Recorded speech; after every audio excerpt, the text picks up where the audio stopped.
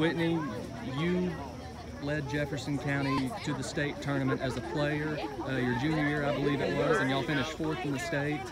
Um, and now you come back as an assistant coach, and you're a state champion. How sweet is this to you personally? Oh my gosh, it is awesome.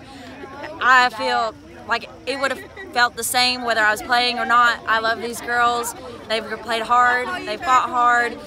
We scratched, we clawed on every game, every step. We've had great battles had a, that's prepared us for these moments like this, and it's amazing. I love it. So, and I'm so happy for these girls. They've done a great job. How much did your experience in 2010 maybe kind of help you prepare and you know help Hillary prepare prepare these girls for the big stage they were about to take?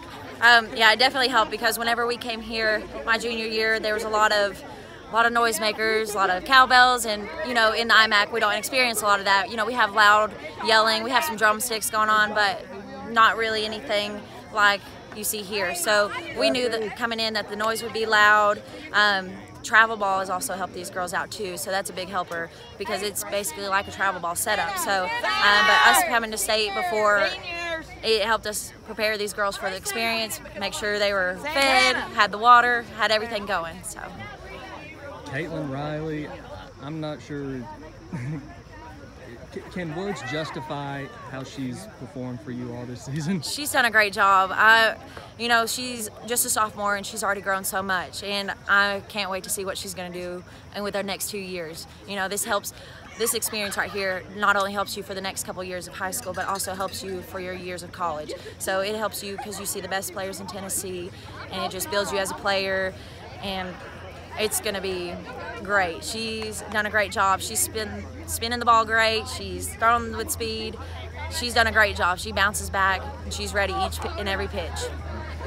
Caitlin Riley is, is, has lately she's been a story of bouncing back because in, in, the district championship uh, she lost twice to Morristown East, but then came back strong and went uh, I think three and zero oh the very next week to get help Jefferson County get here.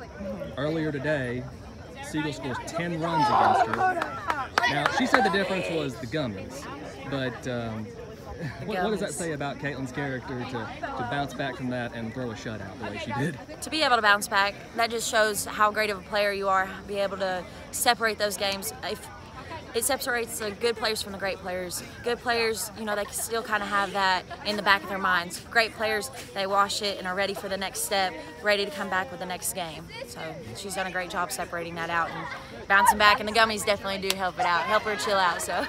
what brand are those gummies? I got to get me some. Uh, they're from Sam's Club, Makers something, but they're the best. They got really good flavors. So.